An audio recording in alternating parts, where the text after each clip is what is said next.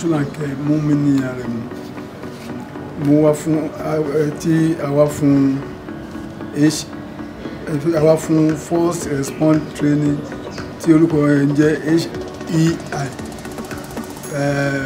in fact tí wọ́n fi treat wa ó wà òkè the training wọn dẹ̀ wà òkè báyà dẹ̀ fẹ́ kí gọ́ọ̀mẹ̀ ìjọba pẹ̀lú gbogbo ẹ̀yìn aráàlú kí ẹ gbìyànjú ẹ túbọ̀ máa jẹ́ kí kí sọ ikú máa lọ síwájú síwájú sí ẹ ràn wá lọ́wọ́ ẹ ṣé. My name is uh, Dirobo Ebere.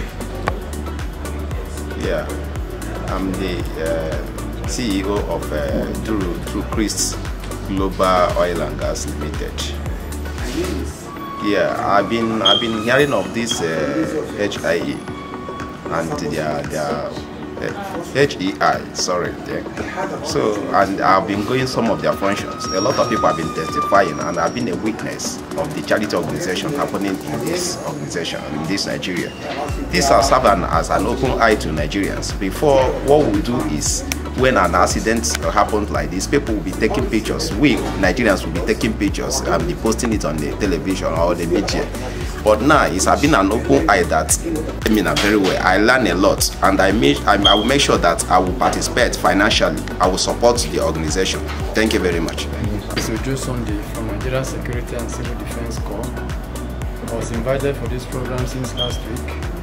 And uh, I thank God that this awareness has been created. It's not only the trained uh, medicals, medical personnel that can handle or save life. That we will exceed that this kind of training. I would like more awareness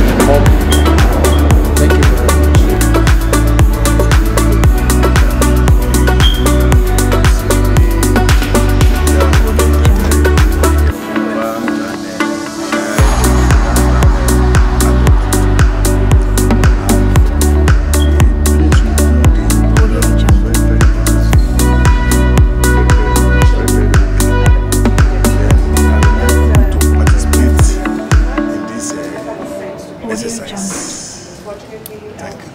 you.